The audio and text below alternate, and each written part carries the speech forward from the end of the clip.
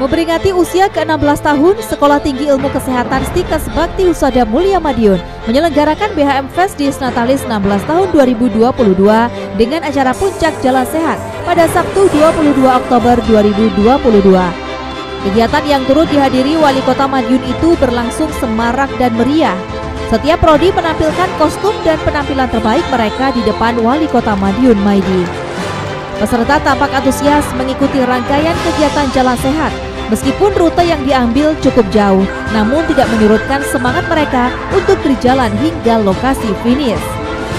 Selain bertujuan menjaga kesehatan jasmani, jalan sehat tersebut merupakan bagian dari kegiatan silaturahim antar mahasiswa, dosen, masyarakat sekitar hingga pemerintah daerah setempat. Dengan demikian diharapkan akan terjalin persatuan yang lebih erat dalam mendukung kemajuan Stikes BHM Madiun sebagai perguruan tinggi swasta kesehatan terbaik di Karesidenan Madiun. Wali Kota Madiun Maidi memberikan apresiasi terhadap kemajuan dan keunggulan yang telah ditorehkan oleh Stikes BHM Madiun. Meski begitu, orang nomor satu di kota Pendekar itu berpesan supaya Stikes tidak cepat puas. Salah satunya dengan terus berinovasi dalam segala bidang, juga menambah prodi sesuai dengan perkembangan dan kebutuhan pasar saat ini. Untuk itu, fasilitas penunjang bakal disiapkan oleh pemerintah daerah agar masyarakat semakin nyaman karena keberadaan kampus akan menarik mahasiswa dari luar kota Madiun sehingga akan berdampak pada peningkatan perekonomian.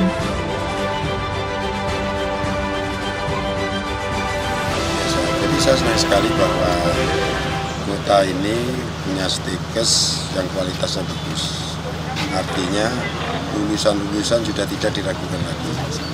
Lulusan yang tidak diragukan ini makanya dari dari rumah sakit dari mana saja silahkan. Lulusan stikes walaupun baru 16 tahun tapi kualitasnya luar biasa. Nah, harapan saya bahwa saya sudah pesan pada yayasan ini dikembangkan. Salah satu pengembangan prodi. Sampai pengembangan prodi mungkin e, nanti menjadi institut. Artinya bahwa Madiun ini akan menjadi kota pendidikan. Tetapi kota pendidikan ini hasilnya sangat yang diinginkan masyarakat jadi masyarakat menginginkan, rumah sakit menginginkan, yang kualitas sudah ada. Nah di sinilah bahwa SDM sebagai agen perubahan. Stikes ada di sana. Maka stikes bisa mengikuti perubahan hari ini. Saya sarankan juga harus ikut merubah. Ikut merubah. Nah, kalau ikut merubah, maka stikes ini kesuksesan akan di atas. Artinya lembaga ini akan ikut merubah di mana pasar seperti apa, kualitasnya seperti apa dia bisa ngikutin. Inilah yang kita harapkan dengan uh, di Natalis Memasuki usia ke-16, Sekolah Tinggi Ilmu Kesehatan Stikes Bakti Husada Mulia Madiun semakin memantapkan diri menjadi salah satu PTS kesehatan unggul dan diperhitungkan di Jawa Timur bagian Barat. 16 tahun berdiri, kampus Stikes Bakti Husada Mulia telah melahirkan ratusan tenaga kesehatan yang profesional dan mumpuni Lulusannya bahkan tersebar di berbagai rumah sakit ternama, baik di dalam maupun luar Madiun.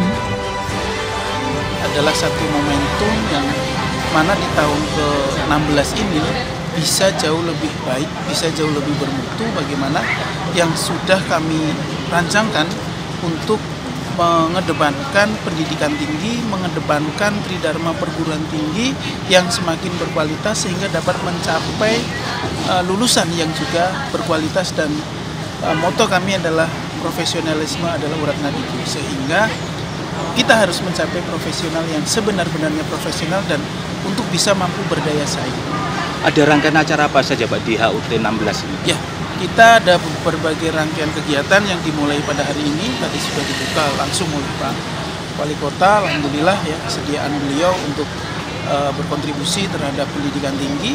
Dan yang rangkaian kegiatannya adalah di samping dengan pembukaan ini nanti ada di minggu berikutnya adalah lomba antar mahasiswa ya.